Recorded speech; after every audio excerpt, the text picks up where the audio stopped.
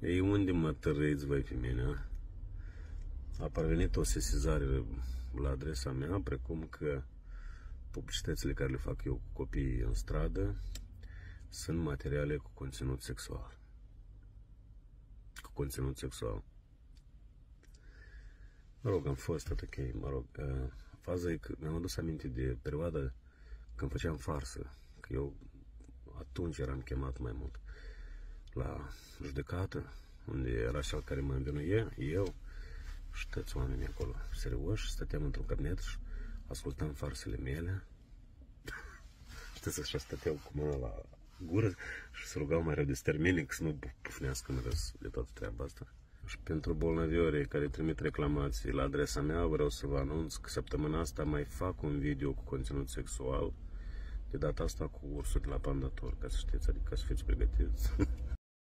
Și apropo de farsă de perioada aia, singura persoană care eu mi-aș cere scuze și o fac, asta e Lidia Marin. Lidia Marin asta e o doamnă în vârstă care lucra la Radio Sănătatea, după care ne-a venit toată echipa Jurnală FM acolo, s-a transformat în Jurnală FM, da. Și uite, uh, eu atunci cu farsele, normal că erau multe prostii în emisii direct, cuvinte necenzurate și cei de la CCA cereau în scris ca să le dăm toată convorbirea, audio la farsă, da? Și acum mi-aduc aminte cum doamna era în vârstă trebuia să scrie toată discuția mea cu cel care îi făceam farsă.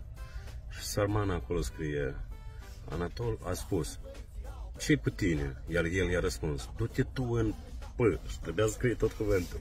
Anatol îi spune, nu trebuie să vorbești așa. Du-te mai în P, și tot așa. Sarmana doamne, că trebuia să scrie toate prostiile astea în scris.